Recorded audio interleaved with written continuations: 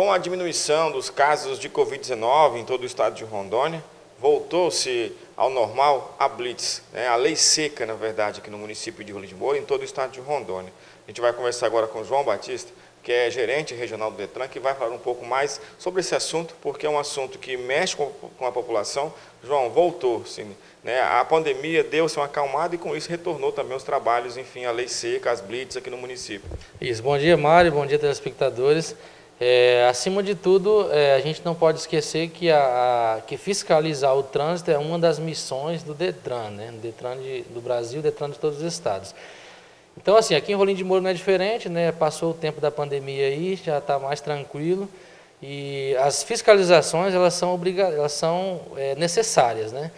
Nós estamos retornando, retornando aí com a operação Lei Seca do DETRAN, através da fiscalização, da Regional de Fiscalização aqui de Rolim de Moura, tem como chefe a Meire, e a gente está começando a desenvolver novamente os trabalhos da Operação Lei Seca, porque os casos, aí, infelizmente, é, de casos de acidentes com, com pessoas embriagadas, alcoolizadas na direção, eles aumentaram nessa pandemia, infelizmente.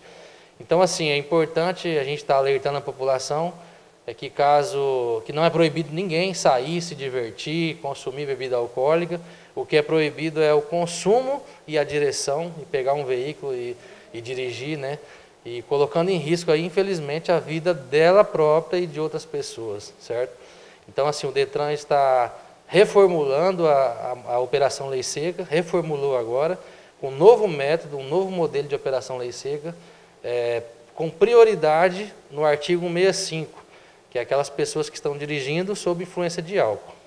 Outra questão no município é que nessa primeira blitz que já houve aqui no município, já deu para ter uma noção de quantas pessoas andam pelas ruas inabilitadas. Isso também é um problema. É realmente é uma quantidade muito grande de pessoas inabilitadas é, conduzindo os veículos automotores e infelizmente é, no sábado, a sexta e sábado passado é pouco mais de 200 pessoas abordadas, 200 veículos abordados. O índice aí foi de 12% dessas pessoas dirigindo sob influência de álcool. Então assim, uma quantidade muito alta, né, exige mesmo uma atenção redobrada, é, um apelo também que a gente como fiscalização faz para toda a sociedade. Caso for beber, não dirija, pessoal. Não assuma esse risco, né?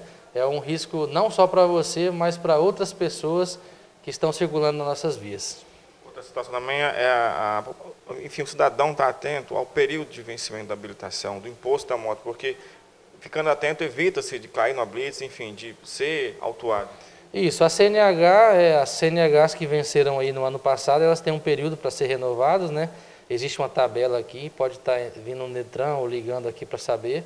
Geralmente é um ano, prazo máximo após o vencimento da CNH para estar renovando. E o pessoal está confundindo muito isso. Está achando que ainda está no prazo e quando muitas das vezes já está vencida. Né? É, outra, outra coisa é ficar atento ao exame toxicológico. O toxicológico ele passou a ter novos prazos. Então, é, verifique certinho a sua CNH para estar tá andando é, conforme a legislação atual.